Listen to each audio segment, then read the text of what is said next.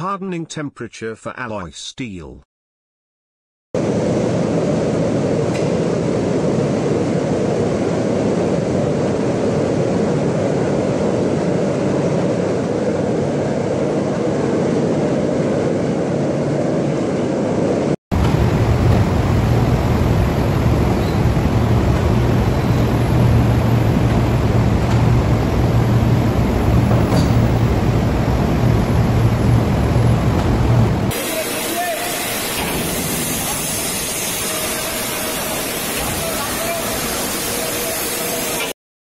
Heat treatment of tool steels.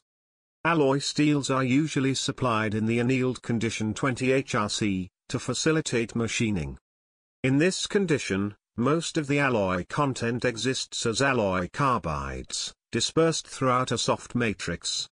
These steels must be heat treated to develop their characteristic properties.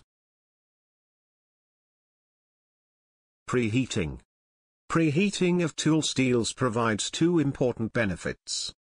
First, most tool steels are sensitive to thermal shock. A sudden increase in temperature of 1500 thousandths of a degree Fahrenheit may cause tool steels to crack. Second, tool steels undergo a change in density or volume when they transform from the as supplied annealed microstructure to the high temperature structure, austenite. Austenitizing. The useful alloy content of most tool steels exists as carbide particles within the annealed steel. This alloy content is at least partially diffused into the matrix at the hardening or austenitizing temperature. The actual temperature used depends mostly on the chemical composition of the steel. Hardening temperature and quenching medium chart.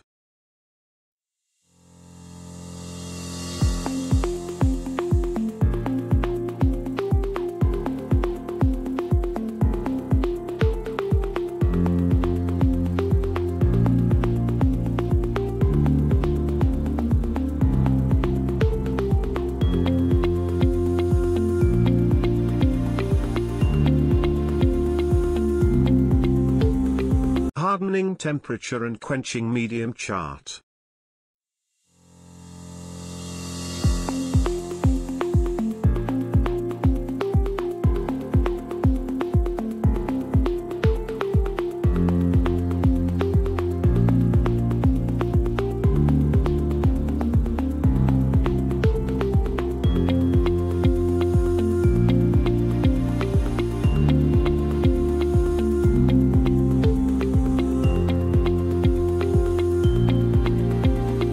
For detail please visit my YouTube channel and please subscribe.